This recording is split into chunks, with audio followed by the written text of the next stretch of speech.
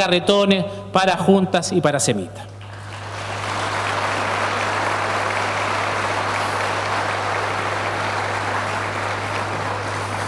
Bueno, no podíamos estar acá en el Liceo de Excelencia Bicentenario Eduardo Frey, que ustedes observan cómo está dañado desde el terremoto del 2015, sin hacer un anuncio. Nos hemos jugado por su construcción.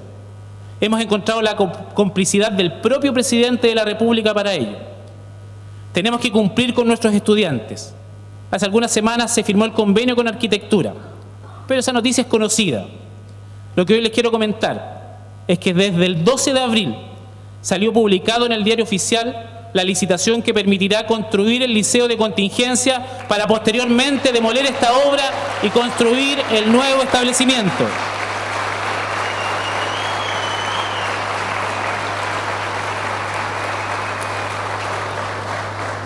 $8.600 millones de pesos. El 21 de junio sabremos las empresas director interesadas para por fin iniciar el proceso de entregar el liceo que Montepatria se merece. Ahora sí, para finalizar. Solo agradecer. Esta puede ser mi última cuenta pública. De, de un arduo trabajo en estos dos años y diez meses de gestión donde nos tocó sacar adelante tareas muy difíciles y siempre dando la cara y trabajando fuertemente para enfrentar todos los desafíos. Agradecer a Dios por darme la salud y la fuerza para entregarme por completo a esta tarea. Agradecer a mi familia, a mi señora Valentina, por cubrir ese espacio que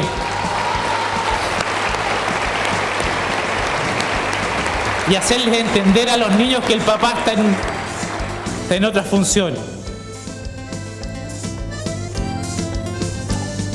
Agradecer a mi tremendo equipo de trabajo, funcionarios y funcionarias municipales con la convicción del servicio público, que se han sumado con lealtad a nuestra forma de administrar.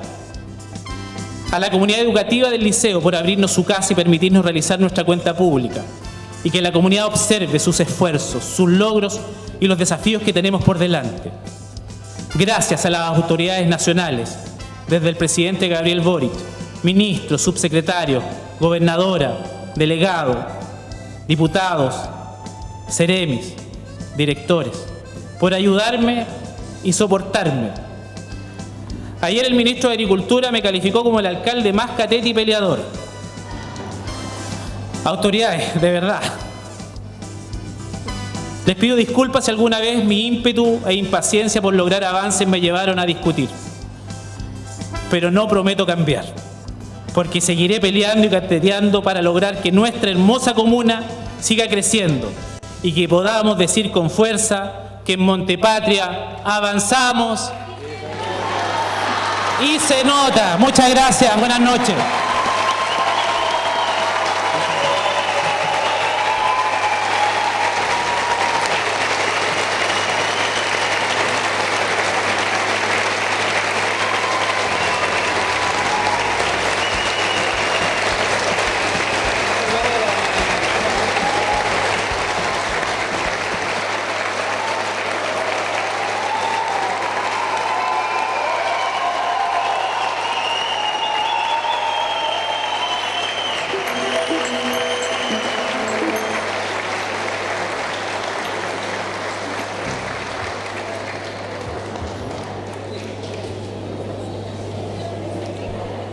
A continuación, nuestro alcalde hace entrega al Honorable Consejo Municipal el informe de la gestión 2023, el cual también se encuentra disponible en la página web www.munimontepatria.cl. Les invitamos a pasar al escenario.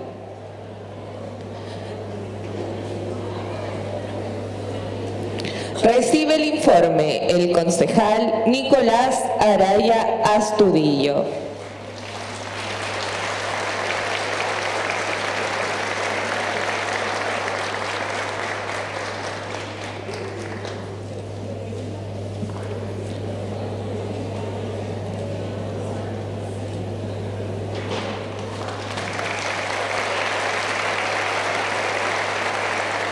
A continuación recibe el informe el concejal Brian Castillo Cortés.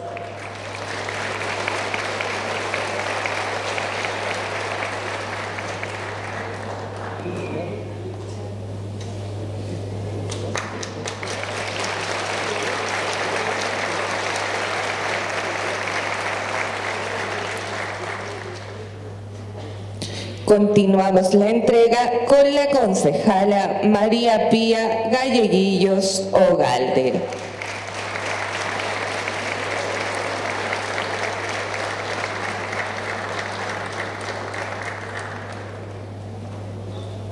Recibe el documento la concejala Mary Mora Araya.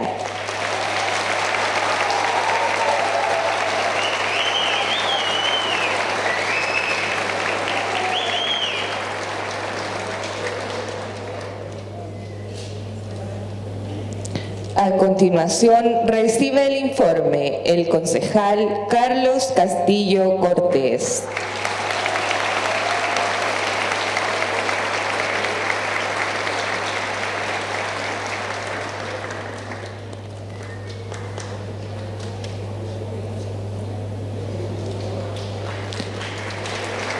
Y finalmente recibe el documento la concejala Ana Carolina Rojas Bruna.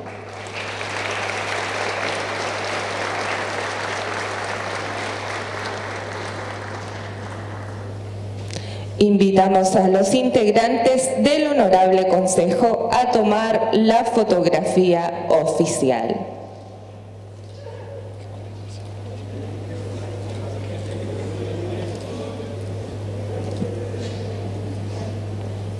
Agradecemos a los señores concejales y concejalas. A continuación y de la misma manera, nuestro alcalde hace entrega del libro oficial de la gestión 2023 al Consejo de la Sociedad Civil. Favor de pasar adelante a los integrantes.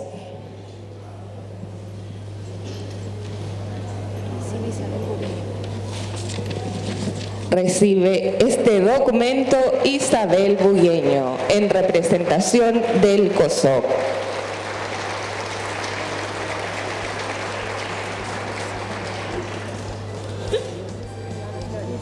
Recibe a continuación Joana Flores. Recibe el documento Marcia Castillo. A continuación recibe la cuenta pública Jessica Carrizo. Recibe el documento Jessica Castillo. Recibe también la cuenta pública Gestión 2023 Delfina Araya.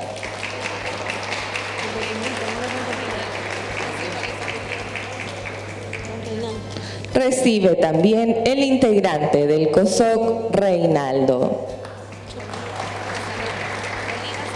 Reinaldo Oliva Saavedra.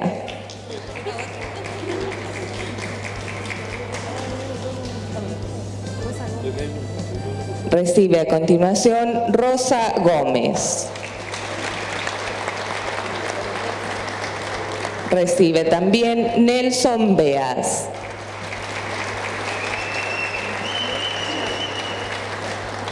Recibe a continuación McClure Char.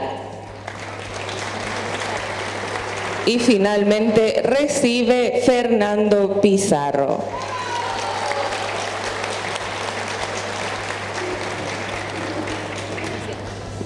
Los invitamos a todos a posar para la fotografía oficial.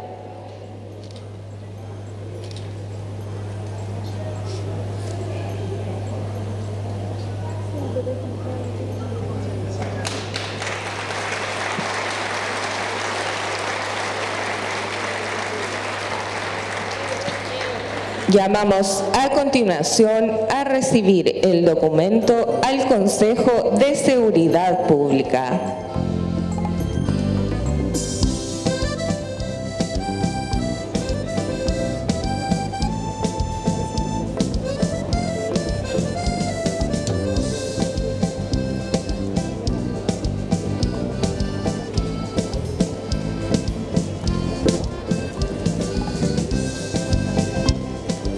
Recibe el documento Camila Araya del programa Ambulatorio Básico. Recibe Marta Araya, representante de Senda Previene. A continuación recibe Leonardo Laflor de la Unión Comunal Montepatria. Jaime Castillo también recibe el documento como director del Departamento de Educación. Recibe a continuación María José, encargada de la Oficina Municipal de la Mujer. Recibe Nayaret Calzanga de la Oficina Local de la Niñez. Recibe también Verónica Zárate, directora de la Dirección de Desarrollo Comunitario. Y finalmente recibe Juan Pablo Molina, encargado de Seguridad Pública. También recibe el documento Juan Carlos Juárez, capitán de la subcomisaría de Montepatria.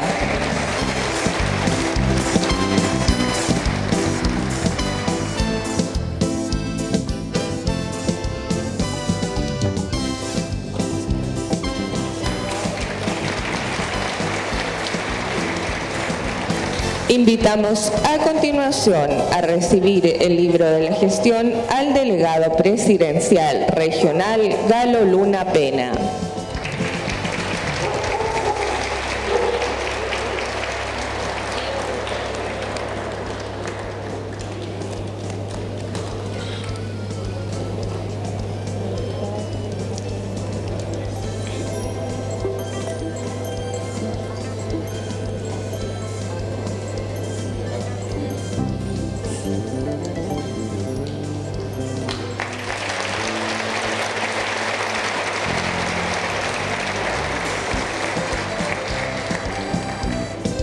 Invitamos a continuación a recibir el documento a la diputada Carolina Tello.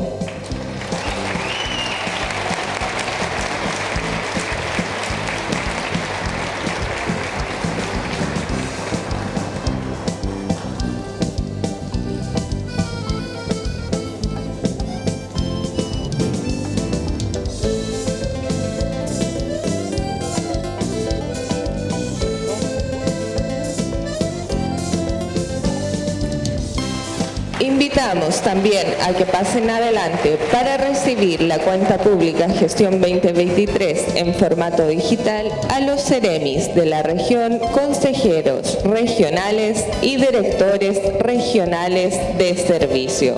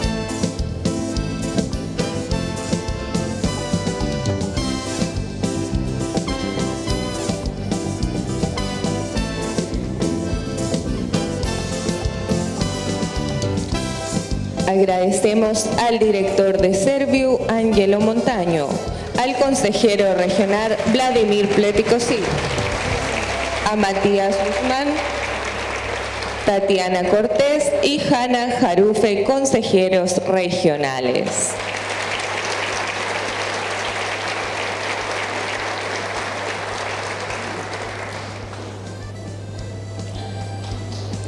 A continuación, y en modo de agradecimiento, queremos invitar a recibir este documento al ex delegado presidencial regional Rubén Quesada Gaete por su aporte a la comuna de Montepatria.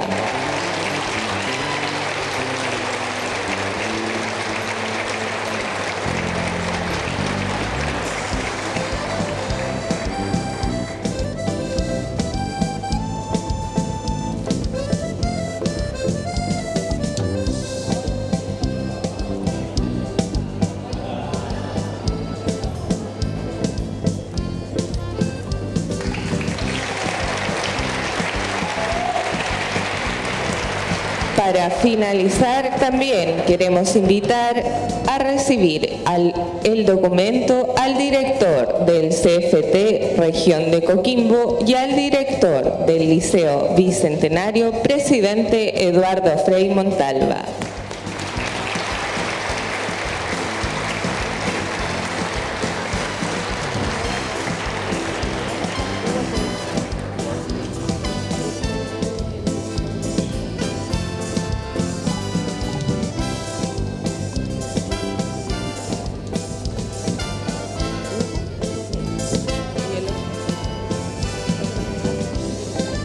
Recibe el dueño de casa, el director Eric Galleguillos.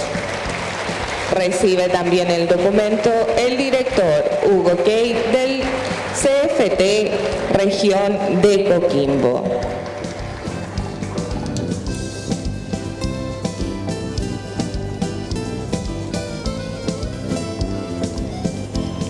A continuación, nuestro alcalde y presidente del Consejo cierra la sesión extraordinaria.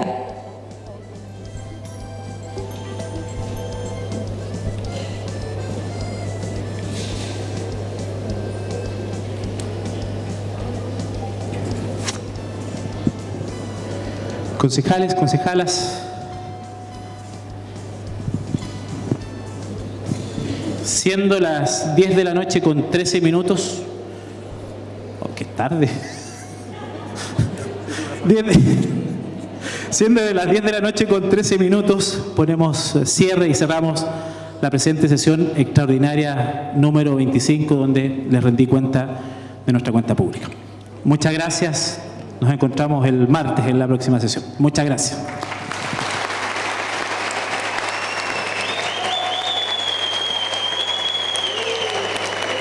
De esta manera damos por finalizado este acto y agradecemos a quienes nos acompañaron presencialmente y por la transmisión y les dejamos invitados a pasar al patio del Liceo Eduardo Frei Montalva a una recepción. Muy buenas noches.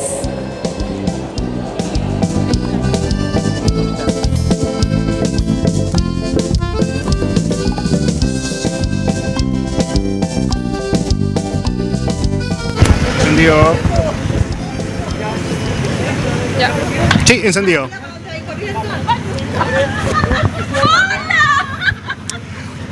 Y acá estamos de vuelta acá en esta cobertura especial junto a mi colega Catalina González porque ya ha terminado esta cuenta pública gestión 2023 donde se anunciaron diversos proyectos para nuestra comuna, algo que va a beneficiar al 100% a nuestra comunidad montepatrina.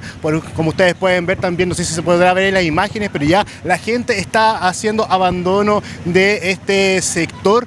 Vamos a tener también entrevistados acá en un momento más una cuenta pública que duró casi dos horas y media, Cata. ¿Qué te parece eso? La verdad, bastante amplia, bastante larga, pero nos deja más que claro la capacidad de habla y de la capacidad que tiene nuestra, la capacidad de habla que tiene nuestro alcalde y la capacidad de, de, todos los proyectos que tiene nuestra comuna, de todas las cosas que se desarrollaron durante la gestión 2023, ¿cierto? Y todo lo que se nos viene el 2024, porque también estuvo todo el anuncio de los, de los anuncios, claro, toda la presentación de los anuncios que se nos vienen y todo lo que se nos viene ahora de trabajo, porque hoy día ya terminamos hoy día, mañana volver a trabajar y dale con la gestión 2024, porque no paramos, avanzamos y se nota y no paramos. Se nos viene, ¿cierto?, el CEFAM del Palqui, se nos viene, hablamos de pavimentación para muchas calles, ¿cierto?, porque hay que pavimentar todo el futuro.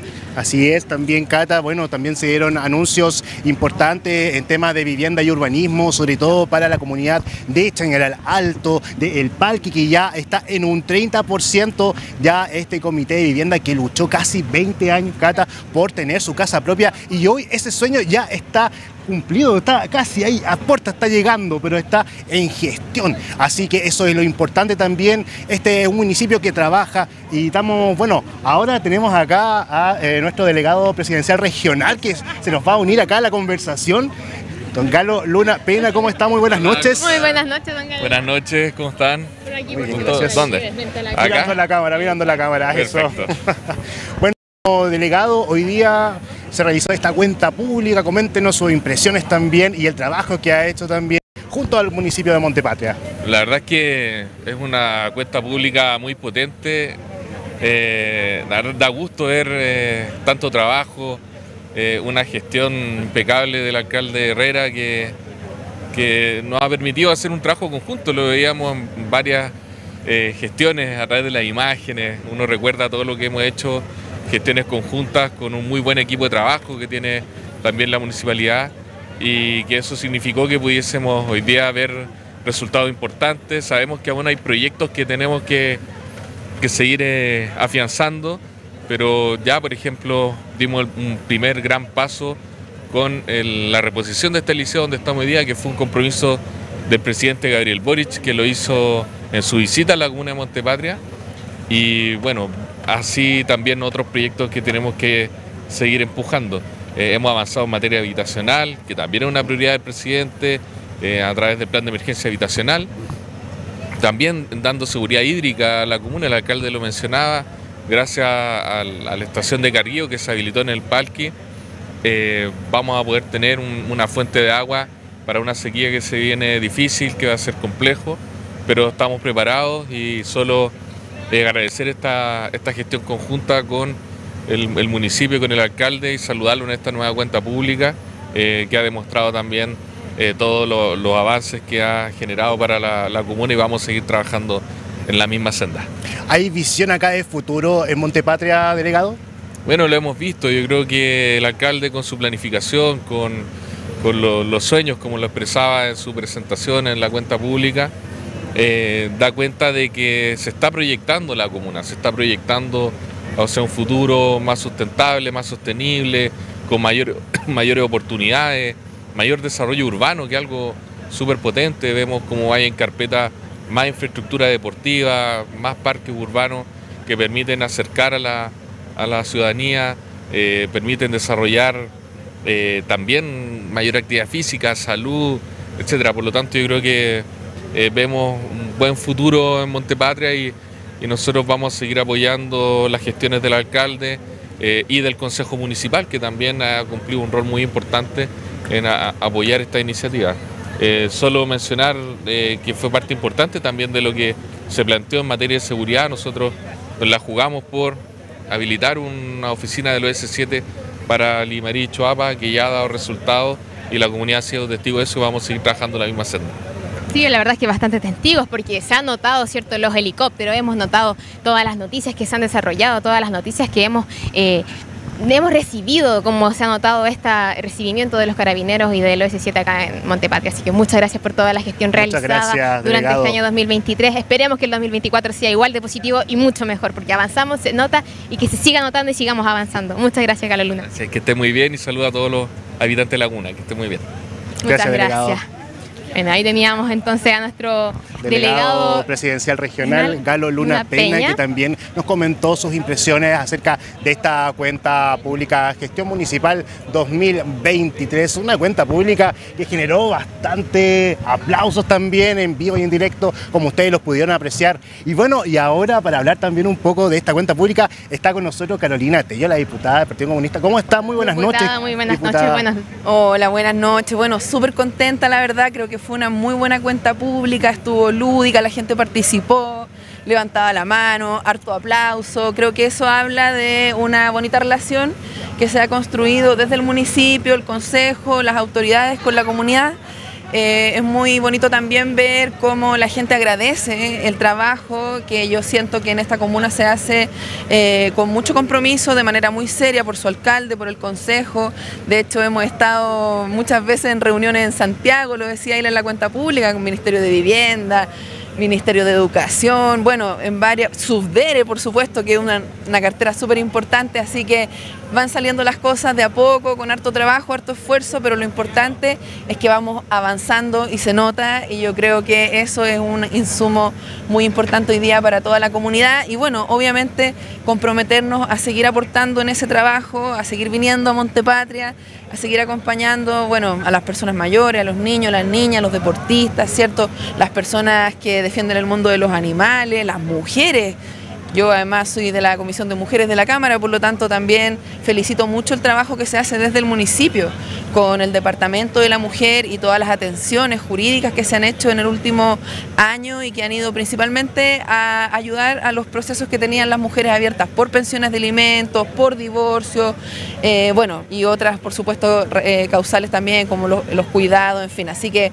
nada, seguir comprometida para seguir eh, dando buenas noticias y bueno, un abrazo a nuestro alcalde Cristian Herrera que lo está haciendo estupendo y también lo felicito por el cariño que le tiene la, comunidad. Muchas gracias, diputada, por sus palabras.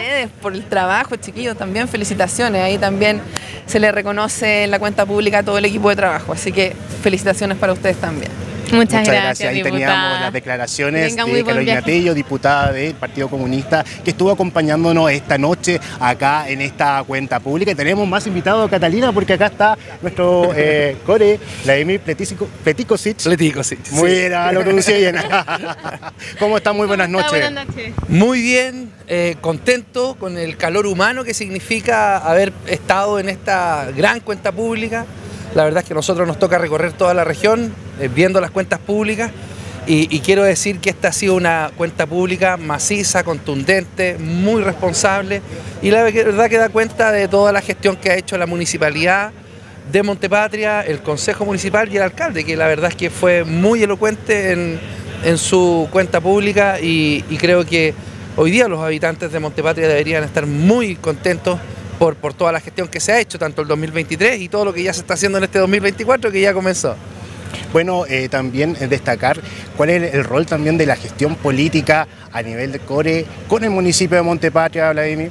Así es, nosotros como gobierno regional y específicamente como consejo regional tenemos la misión, ¿cierto?, de revisar los proyectos y también de poner las lucas, de poner el presupuesto de la región en las distintas comunas. Y debo decir que la comuna de Montepatria es una de las comunas que más postulaciones tiene, que más eh, iniciativas levanta y por supuesto eso también tiene que ver con la gestión municipal, con los equipos municipales, con los funcionarios que tengo la plena certeza que día a día dan todo de sí para que esta comuna pueda apalancar mucho más recursos, no solamente lo que le llega a través del Fondo Común Municipal y de todas las, prestaciones de servicios que tiene la municipalidad, sino que también desde otras eh, reparticiones públicas y en este caso del gobierno regional muchísimo más. Nosotros hace muy poquito, bueno, y, el alcalde ya lo dijo, sí, entonces ya lo puedo decir, aprobamos hace muy poquito una inversión muy importante de más de 700 millones de pesos eh, con los buses eléctricos. La verdad es buses eléctricos son dos? Son dos buses eléctricos que van a permitir, bueno, y ahí el alcalde ya lo anunció, que para los estudiantes, para los deportistas, los adultos mayores,